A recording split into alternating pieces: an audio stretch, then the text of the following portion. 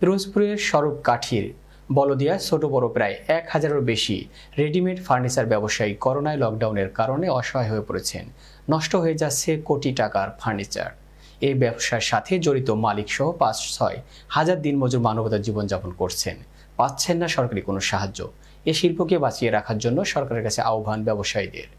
দেখুন পিরোজপুরের সড়ক কাঠি থেকে এস ইসলাম জাহিদের পাঠানো রিপোর্ট কারণ আমার কাছে ভালো লাগছে যে আপনারা এই যে সামাজিক যে দূরত্ব, তিন ফুট দূরে দূরে আমাদের যে দূরত্বটা বজায় রেখে আসলে আপনারা আছেন। তাহলে আমরা যদি এই জায়গাটা সবসময় পরিষ্কার পরিচ্ছন্ন থাকি, তাহলে কি আমাদের এই ভাইরাসটা আর আমাদের শরীরে আসতে পারে না? কারণ এই যে কার কোথায় কোথায় ভাইরাসটা আছে আমরা তো জানি না। জানি? আপনি জানেন? জানেন না। তাহলে আমরা কি করতে হবে? আপনি যে যেখান থেকে অবস্থান করবেন না কেন, বাড়িতে যাওয়ার আগে টোটাল গোসল করে কাপড় চোপড় ধুয়ে ফেলবেন। আমাদের যে এই সমস্যা, আসলে আমরা যদি একটু সচেতন থাকি, সবাই আক্রান্ত করতে পারে না। মনে করেন কোনো কারণে যদি ভাইরাস আসেও তাহলে আমরা যদি সেটাকে পরিষ্কার পরিচ্ছন্ন থাকি স্প্রে ব্যবহার করি মানে জীবাণু মুক্তনাশক যে স্প্রে এটা যদি আমরা ব্যবহার করি আপনি বিশ সেকেন্ড পরে হ্যান্ড ওয়াশ দিয়ে হাত ধোবেন হ্যান্ড গ্লাভস ব্যবহার করবেন এখানে লিপলেটে সবকিছু লেখা আছে নিয়মাবলী। করোনা ভাইরাস এই করোনা ভাইরাস আপনারা যেটা সেফটি প্রথম আপনি পকেটে রাখছেন। তাহলে আপনি একজন সচেতন নাগরিক যেটা আপনার প্রথম প্রাথমিক সেফটি হাতে গ্লাভস পরবেন মুখে মাস্ক পরবেন। ফিট করে দূরত্বে অবস্থান নেয়। একজন কাস্টমার যেন অন্য কাস্টমার থেকে তিন ফিট দূরত্বে অবস্থান নেয় করে বাড়িতে চলে যান। বাড়িতে যে ঘরে ঢোকার আগে অবশ্যই এটা হলো আপনার প্রাথমিক সেফটি যাতে কোনো ভাইরাস আপনার সংক্রমিত না করতে পারে। আপনাকে করোনা ভাইরাস আক্রান্ত হয়, প্রথমে আপনার সর্দি হবে, জ্বর হবে হালকা, নাক থেকে পানি ঝরবে, গলা গলা এখানে, এটা খেয়াল রাখবেন। এই উপসর্গগুলো দেখা দিলেই সাথে সাথে বাসায় আমাদের পিরিসপুরে এখন পর্যন্ত কোনো করোনা রোগী আক্রান্ত হয় না এটা খুব সুসংবাদ কিন্তু আমাদের জন্য। এখন মানুষ তো কাজ কামে বাইরে যেতে পারে না। সমস্ত এলাকায় এই এলাকার কর্মজীবী সব মানুষ।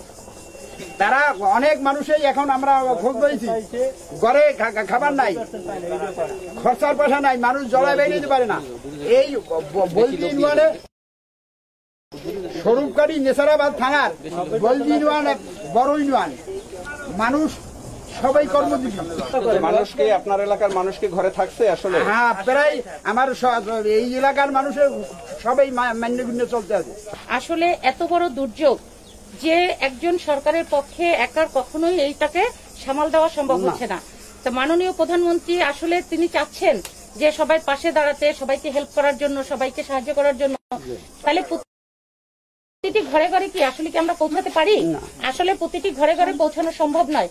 কাজে আমি এটাই আহ্বান জানাব যে আপনার এই এলাকায় যারা বিত্তশালী আছে যারা মানে অর্থনৈতিকভাবে ভালো আছে ইচ্ছা করলেই তারা যদি একটু সচেতন হয় তারা যদি এগিয়ে আসে তাহলে হয়তো কেউই ঘরে ঘরে না খেয়ে থাকবে না। করোনা ভাইরাস ছড়ায় চোখ দিয়া মুখ মুখ দিয়া নাক দিয়া।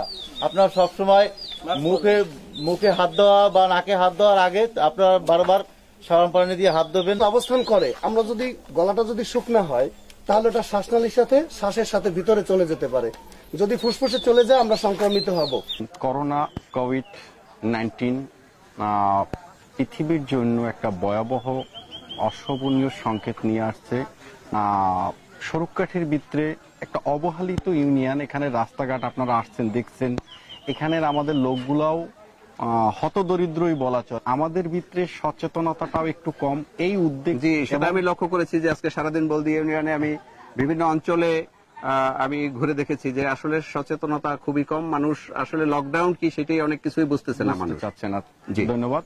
তো এই অনুপ্রেরণাকে সামনে রেখে তো যাতে আমাদের ইউনিয়নের লোকজন সচেতন হয় সামাজিক দূরত্ব কীভাবে বজায় রাখতে হয় কীভাবে নিজের সেফটিটা রক্ষা করতে হয়, কীভাবে স্প্রে করতে হয়, বাজারঘাট থেকে প্রয়োজনীয় কাজ সেরে বাসায় গিয়ে কীভাবে স্প্রে করতে হয়, মসজিদে কীভাবে স্প্রে করতে হয়, কীভাবে মুসল্লিদের স্প্রে করে মসজিদে ঢুক- ঢুকতে হবে, যাতে করে একজন থেকে আরেকজন সংক্রমণ না হয়। বাজারে যারা বাজার করতেছে এটা যে আপনি করতেছেন, আপনি তো প্রত্যন্ত অঞ্চলে তাহলে আপনি যাচ্ছেন। আসলে কি লকডাউন মানছে মানুষ? আইন যে সরকারি যে নিয়ম আসলে লকডাউনটা কি? কারণটা কি মানছে কিনা? লকডাউনটা কি এখনও আমাদের এলাকার লোকজন সেই জিনিসটাই বুঝতেছে না? যেমন আমাদের কিছু ভাই ব্রাদার যারা সচেতন আছেন তারা ঘরে ঘরে গিয়ে লকডাউন বুঝাচ্ছেন আমরা লকডাউনটা বুঝাচ্ছি। নিজ উদ্যোগে কাজগুলো করতেছেন। অনেক অনেক ধন্যবাদ আপনাকে। আপনাকেও ধন্যবাদ। M Islam Zahid Ekattor Bangla television Jirbari Baldia Nesarabad Pirojpur.